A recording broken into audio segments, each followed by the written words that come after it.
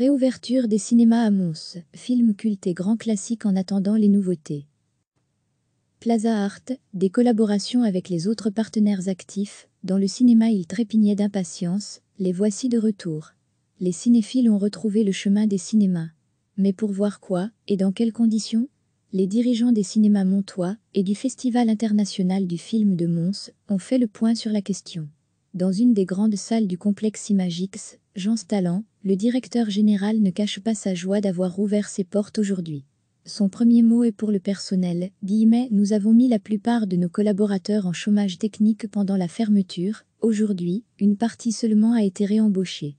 Nous attendons de voir si le public revient et surtout combien de personnes nous pourrons accueillir. Actuellement, la jauge est de 200 spectateurs maximum par salle, mais les distances imposées ne permettent pas d'atteindre ce nombre. Actuellement, le protocole réglementant l'ouverture des cinémas impose une rangée libre sur deux et deux places d'écart entre groupes de spectateurs appartenant à une même bulle. Le patron d'Imagix espère toujours un assouplissement de cette mesure. Dans un cinéma, les spectateurs regardent tous dans la même direction, il me semble que les sièges d'écart entre personnes de la même bulle, ça devrait être suffisant guillemets explique Jean Stallant. Vers 13h, les premiers spectateurs arrivent. En famille, en petits groupes d'amis, seuls parfois. La désinfection des mains se fait dès le hall d'entrée. Le masque n'est pas obligatoire mais chaudement recommandé.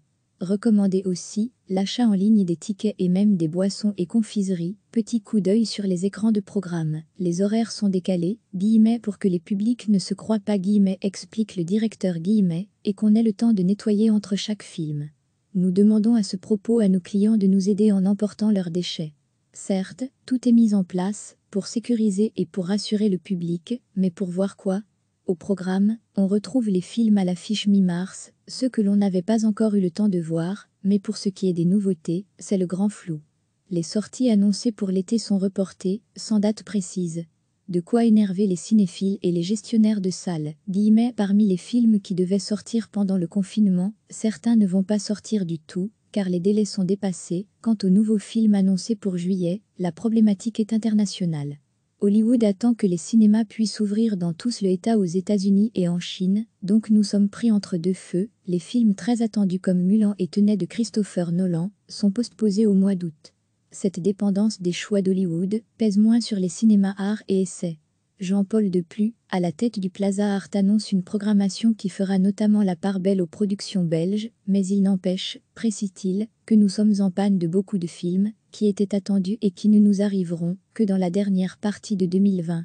Autre souci pour le Plaza, le retard pris sur le chantier du nouveau cinéma.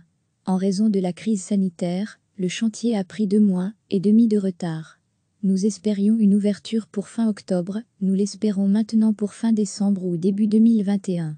En attendant, c'est donc toujours l'auditorium Abel Dubois qui accueille trois ou quatre projections quotidiennes du Plaza Art. Le Plaza profite également de l'été pour proposer des toiles estivales en collaboration avec le Festival international du film de Mons. 18 projections les vendredis et samedis de juillet et d'août, en plein air au Carré des Arts à Mons ou à l'Auditorium Abel Dubois en cas de mauvais temps. Maxime Dieu, délégué général du festival donne un aperçu de la programmation. Guillemets, on reprend des films sortis en 2019, des films grands classiques, des films à succès, mais aussi des films qui ont moins bien marché comme First Man de Damien Chazelle ou Bienvenue à Marouan de Robert Zemeckis. Des séances à 20 heures, au prix de 5 euros, réservation plus que souhaitée. Ils trépignaient d'impatience, les voici de retour. Les cinéphiles ont retrouvé le chemin des cinémas.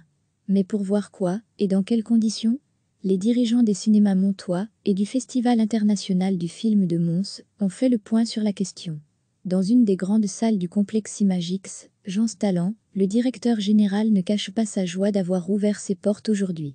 Son premier mot est pour le personnel, guillemets, nous avons mis la plupart de nos collaborateurs en chômage technique pendant la fermeture, aujourd'hui, une partie seulement a été réembauchée. Nous attendons de voir si le public revient et surtout combien de personnes nous pourrons accueillir. Actuellement, la jauge est de 200 spectateurs maximum par salle, mais les distances imposées ne permettent pas d'atteindre ce nombre. Actuellement, le protocole réglementant l'ouverture des cinémas impose une rangée libre sur deux et deux places d'écart entre groupes de spectateurs appartenant à une même bulle. Le patron d'Imagix espère toujours un assouplissement de cette mesure. Dans un cinéma, Les spectateurs regardent tous dans la même direction, il me semble que les sièges d'écart entre personnes de la même bulle, ça devrait être suffisant guillemets explique Jean Stalin. Vers 13h, les premiers spectateurs arrivent. En famille, en petits groupes d'amis, seuls parfois. La désinfection des mains se fait dès le hall d'entrée. Le masque n'est pas obligatoire mais chaudement recommandé. Recommandez aussi l'achat en ligne des tickets et même des boissons et confiseries. Petit coup d'œil sur les écrans de programme. Les horaires sont décalés, guillemets pour que les publics ne se croient pas guillemets explique les directeurs guillemets et qu'on ait le temps de nettoyer entre chaque film. Nous demandons à ce propos à nos clients de nous aider en emportant leurs déchets. Certes, tout est mis en place pour sécuriser et pour rassurer le public, mais pour voir quoi? Au programme, on retrouve les films à l'affiche mi-mars, ceux que l'on n'avait pas encore eu le temps de voir, mais pour ce qui est des nouveautés, c'est le grand flou. Les sorties annoncées pour l'été sont reportées, sans date précise. De quoi énerver les cinéphiles et les gestionnaires de salles. Guillemets, parmi les films qui devaient sortir pendant le confinement, certains ne vont pas sortir du tout, car les délais sont dépassés. Quant aux nouveaux films annoncés pour juillet, la problématique est internationale. Hollywood attend que les cinémas puissent ouvrir dans tous le État aux États-Unis et en Chine, donc nous sommes pris entre deux feux. Les films très attendus comme Mulan et Tenet de Christopher Nolan sont postposés au mois d'août. Cette dépendance des choix d'Hollywood pèse moins sur les cinémas art et essais. Jean-Paul Deplu, à la tête du Plaza Art annonce une programmation qui fera notamment la part belle aux productions belges, mais il n'empêche, précise-t-il, que nous sommes en panne de beaucoup de films, qui étaient attendus et qui ne nous arriveront que dans la dernière partie de 2020. Plaza Art, des collaborations avec les autres partenaires actifs, dans le cinéma autre souci pour le Plaza, le retard pris sur le chantier du nouveau cinéma. En raison de la crise sanitaire, le chantier a pris deux mois et demi de retard. Nous espérions une ouverture pour fin octobre, nous l'espérons maintenant pour fin décembre ou début 2021.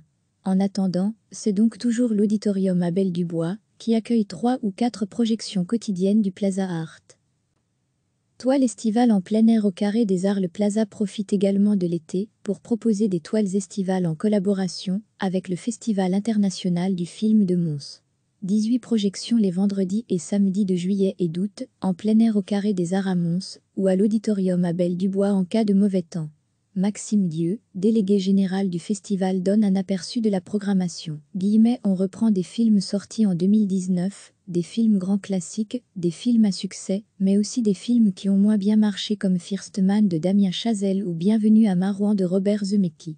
Des séances à 20h, au prix de 5 euros, réservation plus que souhaitée. Cliquez sur s'abonner pour recevoir les dernières nouvelles.